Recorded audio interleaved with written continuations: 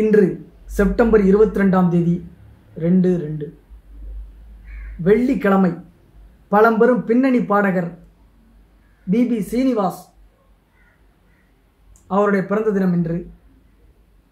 பழம்பெரும் பின்னணி பாடகரும் பன்னெண்டு மொழிகளில் ஆயிரக்கணக்கான பாடல்களை பாடியவருமான பிபி சீனிவாஸ் பிறந்த தினம் இன்று. பன்னெண்டு மொழிகளில் ஆயிரத்துக்கும் மேற்பட்ட பாடலை பாடியிருக்கிறார். ஆந்திர மாநிலத்தின் காக்கிநாடாவில் ஆயிரத்தி தொள்ளாயிரத்தி முப்பதாம் ஆண்டு பிறக்கிறார். பிரதிவாதி பயங்கரம் சீனிவாஸ் என்பது ஒரு முழு பெயர். நம்ம ஊ சகாயம்னு சொல்லி சொல்கிறோம்ல அது வந்து உபகாரம் பிள்ளைன்ற மாதிரி. இவருக்கு வந்து பிபி சீனிவாஸ் அப்படின்னா பிரதிவாதி பயங்கரம். சீனிவாஸ் என்பது இவருடைய முழு பெயர். தந்தை அரசு ஊழியர் தாய் இசை ஆர்வலர். அவர் பாடும் ராகங்களையும் பஜன்களையும் கேட்டு இசை ஆர்வத்தை வளர்த்து கொண்டார். இந்தி பாடல்களை கவனமாக கேட்டு இசை ஆசிரியர்களின் உதவியுடன் பயிற்சி செய்வார்.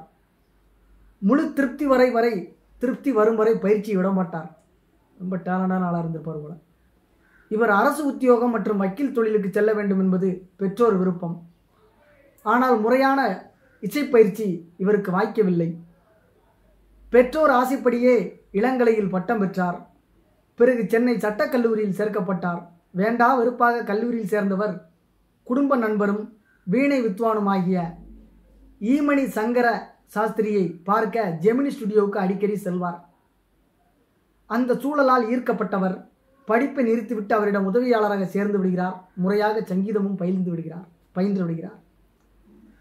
ஜெமினி பிலிம்ஸ் தயாரிப்பில் ஆயிரத்தி தொள்ளாயிரத்தி ஐம்பத்தொன்னில் வெளிவந்த மிஸ்டர் சம்பத் என்ற இந்தி திரைப்படத்தில் பாடினார். பின்னர் தமிழில் ஜாதகம் என்ற திரைப்படத்தின் திரைப்படத்தில் சிந்தனை செய் செல்வமே என்ற பாடல் மூலம் அறிமுகமானார். அதுக்கடுத்து யார் யார் யார் இவர் யாரோ அப்படின்ற ஒரு பாடல். மற்றும் காலங்களிலே அவள் வசந்தம் கலைகளிலே அவள் ஓவியம் அந்த பாடல் மற்றும் தாமரை கன்னங்கள். அந்த பாடலை நீங்கள் கேட்டிருப்பீங்க. அந்த பாடல். மற்றும் காத்திருந்த கண்களே அப்படின்ற ஒரு பாடல். அதுக்கடுத்து மயக்கமா கலக்கமா மனதிலே குழப்பமா அந்த பாடலை பாடினவர் இவர் தான் அதுக்கடுத்து நினைப்பதெல்லாம் நடந்து விட்டால் தெய்வம் ஏதுமில்லை.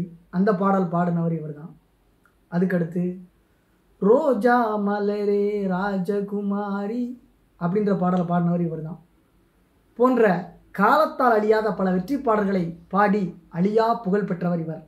எனக்கு பாடத் தெரியாது. ஏதோ இடையில உளறி இருக்கேன். அட்ஜஸ்ட் பண்ணிக்கோங்க வாசகர்களே நேயர்களே. சிவாஜி எம்ஜிஆர் ஜெமினி உள்ளிட்ட தமிழ் திரையுலகின் சாம்பவான்கள் அனைவரும் அனைவருக்கும் பாடல்கள் பாடியிருக்கிறார். தமிழில் ஜெமினி ஜெமினி கணேசனுக்கும் கன்னடத்தில் ராஜ்குமாருக்கும் ஏறக்குறைய அவர்களது எல்லா பாடல்களுக்கும் இவர்தான் பின்னணி பாடினார். பி. சுசிலா ஜானகி பானுமதி ஜிக்கி லதா மங்கேஸ்வர் என அனைத்து பாடகிகளுடனும் இணைந்து பாடியிருக்கிறார். தமிழ் தெலுங்கு மலையாளம் இந்தி உட்பட பன்னெண்டு மொழிகளில் ஆயிரக்கணக்கான பாடல்களை பாடியிருக்கிறார்.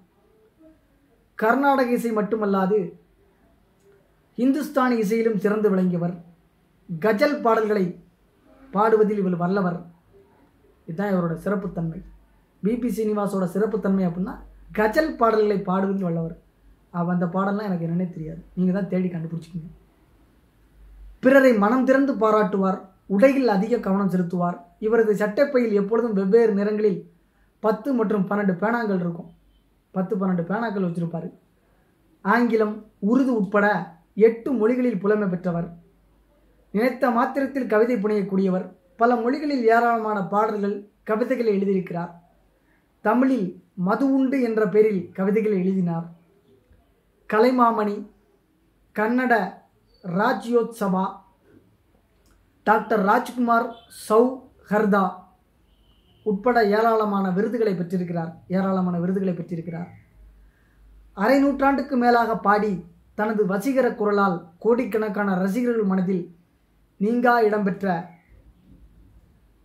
பிரதிவாதி பயங்கரம் ஜீனிவாஸ் எண்பத்தி மூணு வயசில் ரெண்டாயிரத்தி பதிமூன்றாம் ஆண்டு மறைந்து போகிறார்.